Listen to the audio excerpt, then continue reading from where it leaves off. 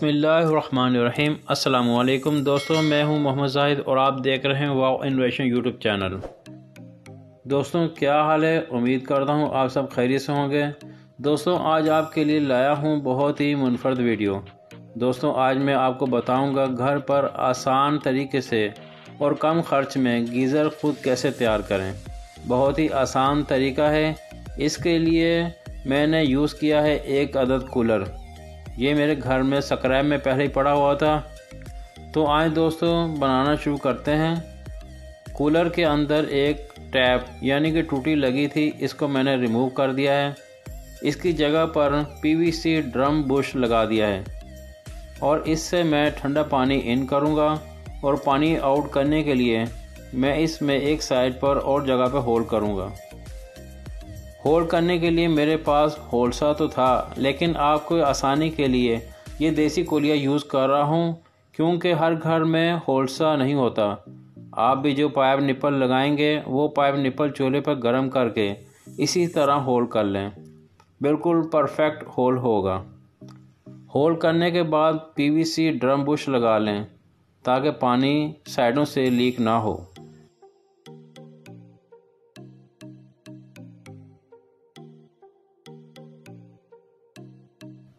इसके बाद गीज़र के एलिमेंट को लगाने के लिए मैंने कूलर का ढक्कन ही यूज़ किया है।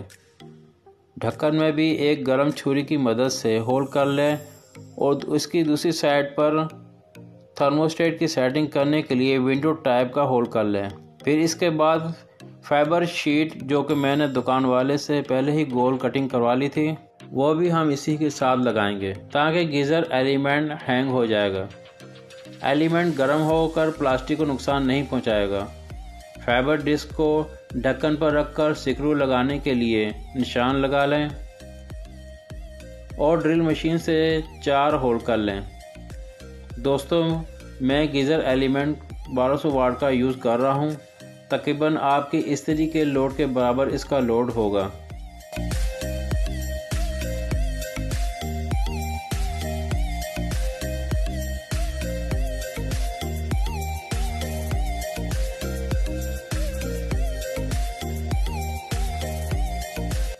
इस पर एक न्यूट्रल, एक फ़ेज़ और दो अदर थर्मोस्टेट के टर्मिनल लगे हुए हैं। और साथ ही इसके रेड कलर में एक वेरिएबल लगी हुई है, जहाँ से हम थर्मोस्टेट की सेटिंग करते हैं। अब मैं एलिमेंट को ढक्कन के साथ चार स्क्रू की मदद से फिट करूँगा।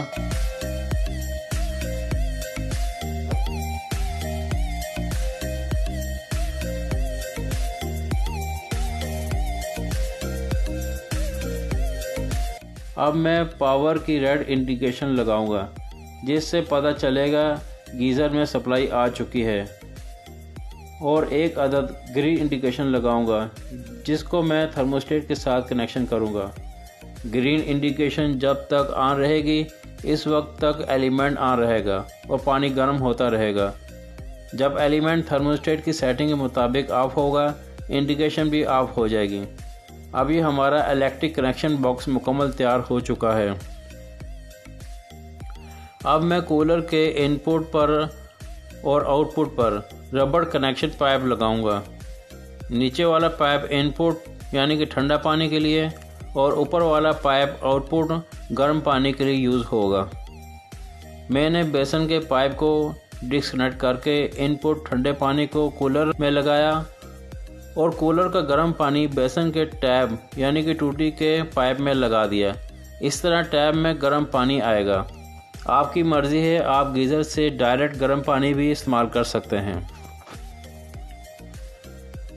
कनेक्शन बॉक्स में मुकम्मल कनेक्शन कर दिए हैं।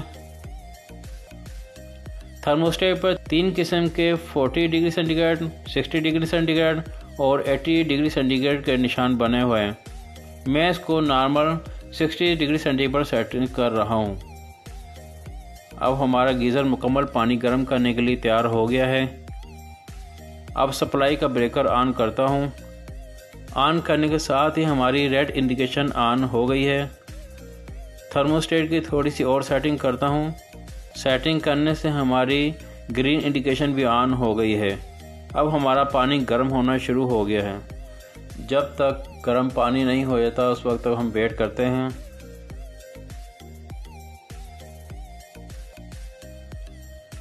लो जनाब, पानी काफ़ी गर्म हो गया है और ग्रीन इंडिकेशन भी ऑफ़ हो गई है। दोस्तों, गीज़र का ये जुगाड़ कैसा लगा? कमेंट्स ज़रूर दें और वीडियो अच्छी लगे तो शेयर ज़रूर करें। अपना बहुत सा ख्याल रखें। नेक्स्ट वीडियो तक के लिए इजाज़त दें। अल्लाह हाफिज़।